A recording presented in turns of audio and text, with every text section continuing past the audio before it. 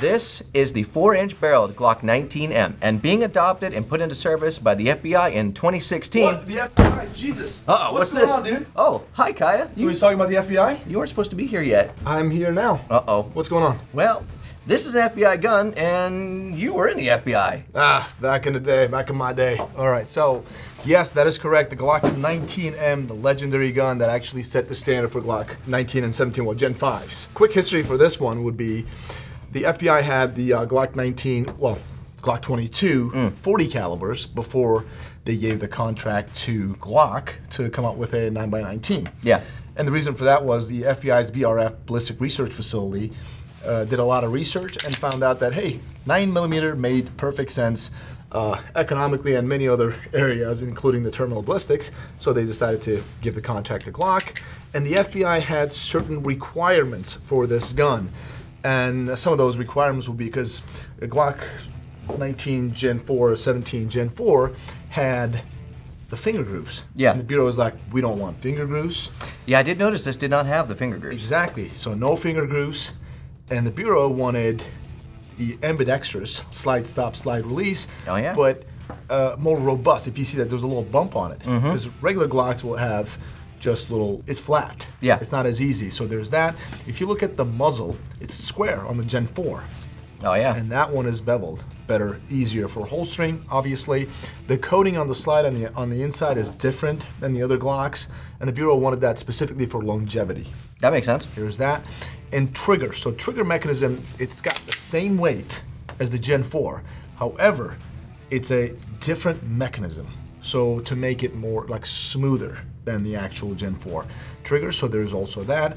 And on top of that, the flared magwell. If you look at the uh, Glock 19M or 17M, it'll have slightly a um, flared magwell compared to Gen 4. It is bowed out here. This is completely flat, and this is bowed out just a little bit, and you can see that too on the inside, right on the edges here. Exactly. So there's that. On top of that, the uh, sights weren't a requirement. The Bureau didn't ask for it uh, from Glock, but Bureau decided to go with the Ameri- AmeriGlo HDs, and they're And that orange specifically, right? That was a. Exactly. Okay. Exactly from AmeriGlo, and Bureau picked that out. And when I first reported to Quantico, I was issued exactly the same gun, Glock 19M, but obviously after a couple of months of training, and we did a lot of firearms training, it was just too small for my hand when it comes to reloads. I, I just pinch it, and I would literally like, if, you, if I could show it to you, see that? I'm gonna the take meaty this part off. of my hand. Yep. And I would just get caught up on the magazine. And one day when I was shooting at the range, I start bleeding because I just do reloads real fast. It pinched my hand, just start bleeding. And the instructor was my bay instructor was like, "No, no, what's going on?" Like, did I get shot? What happened? I was bleeding. I said, "No, it just pinches my hand. It's no big deal." He's like, "No, no, no. He just took the gun from me and got me the Glock 17 uh, M." at that time, and then the rest of my career I carried that. But the legendary Glock 19M is right there here in front of you.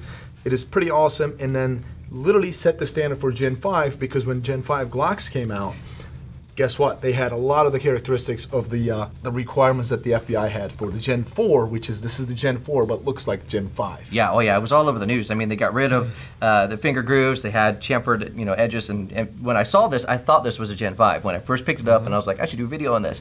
I thought it was a Gen 5. It's actually a Gen 4. It's exactly. If you look at, there's no front serrations now. The Gen 5s do. Yeah. Right. And the bureau didn't have that requirement. But right now, as of right now, the bureau is issuing Glock 19 and 17M, the MOS version. The bureau went away from the whole iron sights thing. So right now, all the guns are got the MOS versions, and they'll have. Uh, the front serrations as well, but still 19 and 17M. That's it. Love the gun. Shot really well, and I, I did a pretty decent job with it. Overall, one of my favorite guns, and it's got some uh, personal value for me. Yeah, and I did notice it had your, your cutouts too on the front and the back, so if you get that mag stuck, you can pry it out. Well, with that being said, that's uh, pretty much all the notes that I had on this. You touched on every point I had. Do you have any any closing statements? Nothing. It's it's a great Glock. Love it. And overall, Glocks are awesome. But th- there's a, a lot of value for this. This gun was made for the FBI with FBI requirements in mind. So- So, it's not just any Glock. So if you see this gun, don't pass up the opportunity to grab it if you see it up there. Exactly. It's extremely rare. All right, and that's all I have for you guys today. God bless. It is time to end.